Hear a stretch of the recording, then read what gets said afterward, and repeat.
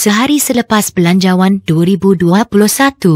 Semasa kami duduk di sebuah restoran untuk makan tengah hari-hari ini, kami tidak dapat menahan diri daripada merenung kembali hari-hari di mana kami berbahas di Parlimen mengenai belanjawan 2021.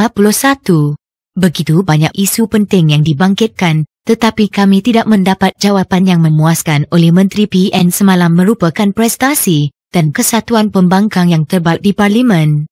Kami berjaya mengumpul sepenuh kekuatan untuk menentang belanjawan 2021, tetapi kami masih tidak berjaya. Hampir setahun berlalu sejak langkah Sheraton berlaku.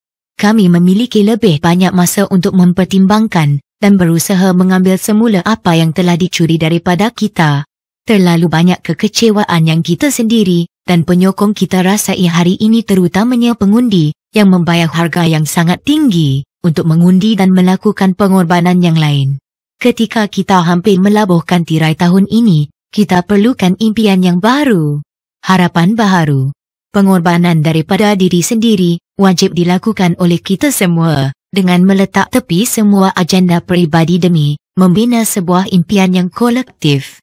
Jika seorang, kita mungkin agak terbatas, minat dan cita-cita kita. Dua tentunya lebih baik daripada seorang.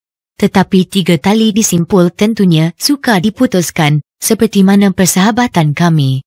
Harga sebuah perpaduan tidak ternilai harganya. Kita perlu kembali semula ke meja rundingan dan memikirkan kembali apa yang dapat kita tawarkan kepada tanah hari ini dan rakyatnya. Doakan kami mempunyai keberanian untuk melakukan perubahan. Sekali lagi,